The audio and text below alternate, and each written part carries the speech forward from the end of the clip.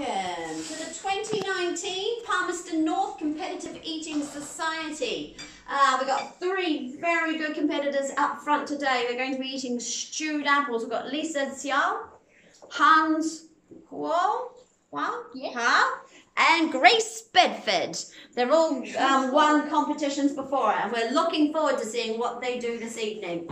Competitors. Wait, wait, are you ready? Three, two, one, action.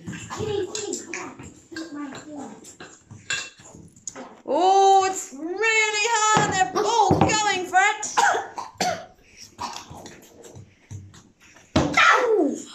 Oh, and we've got a winner. Oh, two competitors are out, which means our winner today is Lisa Tiao.